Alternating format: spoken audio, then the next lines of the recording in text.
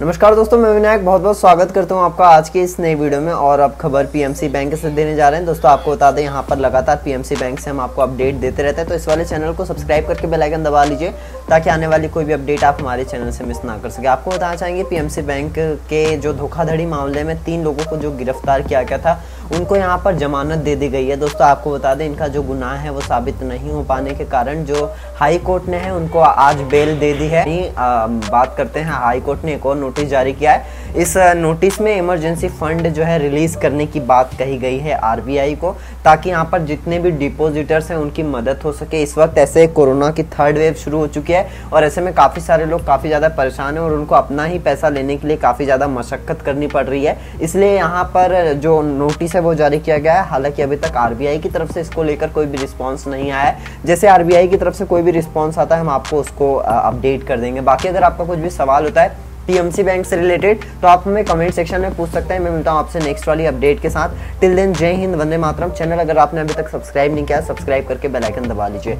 bye bye